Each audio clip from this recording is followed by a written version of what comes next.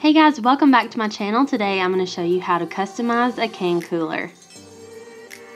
This project is super simple. All you'll need is your can cooler, even some scrap heat transfer vinyl, some scissors, and a weeding tool. Before I start my project, I always measure my surface area to decide what size I need to cut my design.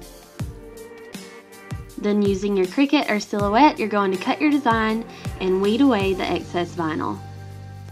This is regular heat transfer vinyl, but you can use flock if you find that the color is trying to bleed through or even glitter because both materials are thicker and that will help you if your colors try to bleed.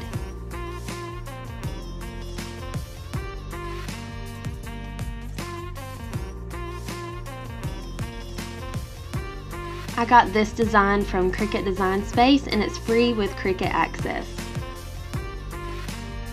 Once you have your design weeded, you're ready to press.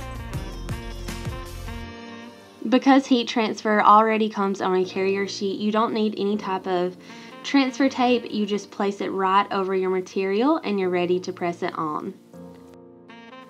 For this can cooler, I'm going to use my Cricut Easy Press. It's perfect for these small projects and I'm going to use my Easy Press mat because you do need something for the project to press into.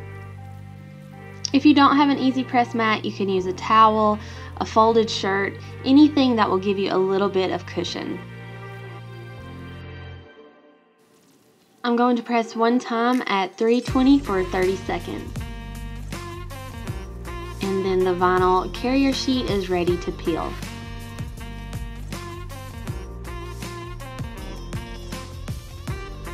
These can coolers are super fun to customize. They make a great unique gift. You can find them online and I will link them in the description box below. So thanks guys for watching. Subscribe to my channel, like the video if it was helpful, and until next time, thanks guys.